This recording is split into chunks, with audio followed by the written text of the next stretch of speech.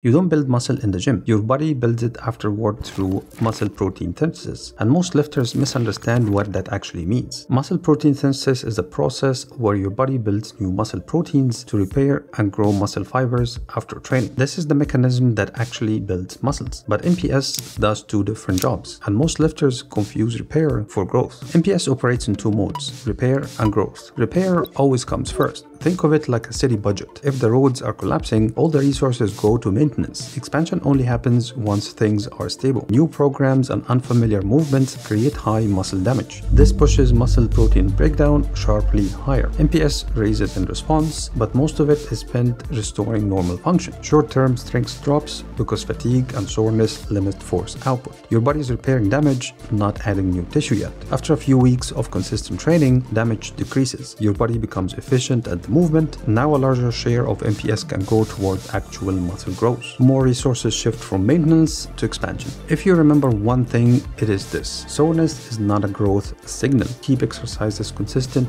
week to week. Start new programs with lower volume than you think. Increase weight and sets gradually. Eat 1.6 to 2.2 grams of protein per kilogram of body weight per day to support both repair and growth. If this feels overwhelming, start light, progress slowly, eat enough protein, and give your body time to adapt. This has been MPS in 100 seconds. Thanks for watching and I will see you in the next one.